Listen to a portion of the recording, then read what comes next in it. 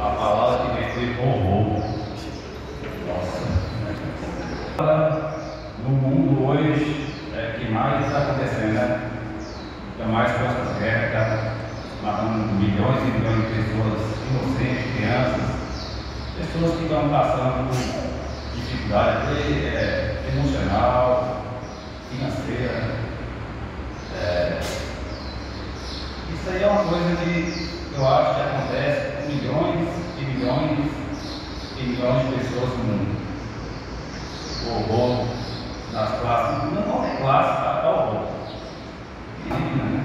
Eu acho que é uma coisa maluca que eu acho que não nem caberia no sentido humano. Né? Isso que eu acho que o horror é. Eu defendendo o funcionário Robson.